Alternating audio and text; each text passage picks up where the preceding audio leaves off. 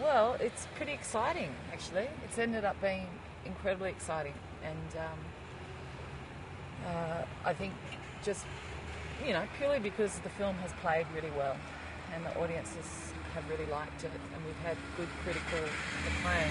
It's such a strong film.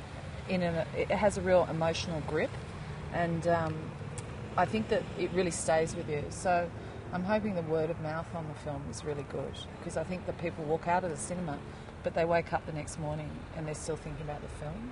It's really special to be here with the cast, and, and some of our crew is here, and um, I think that makes it a real event.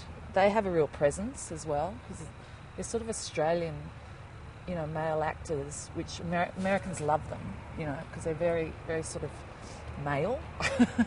and they're all tall boys and they look, you know, they're loud and naughty and they're fun. So it's been, it, it has been a real sort of, um, I, I do feel like I'm on tour with a band.